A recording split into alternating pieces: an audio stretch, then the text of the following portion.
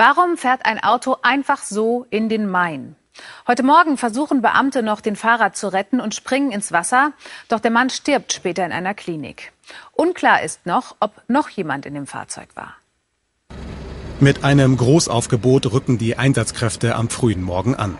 Der Wagen ist komplett versunken und liegt auf dem Grund des Mains. Taucher müssen das tun, was zuvor zwei Polizisten nicht gelungen ist. Noch vor dem Eintreffen der Feuerwehr hatten sie versucht, den Fahrer aus dem Wagen zu retten.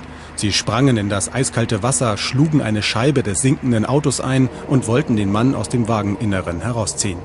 Das ist ihnen aber aufgrund der Eiseskälte im Main und aufgrund der Sogwirkung nicht gelungen. Es war aber recht schnell ein Feuerwehrtaucher, ein Rettungstaucher vor Ort, der diese Person bergen konnte.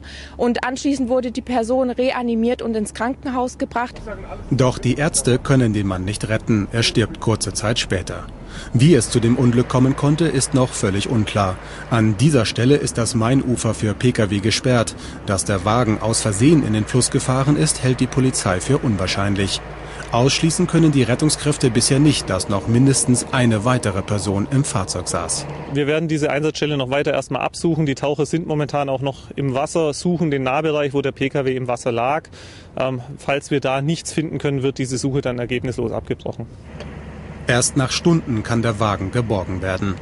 Die Polizei wird nun versuchen, das Leben des Toten zu durchleuchten, um Hinweise zu finden, ob es ein Unglück, ein Suizid oder gar ein Verbrechen war.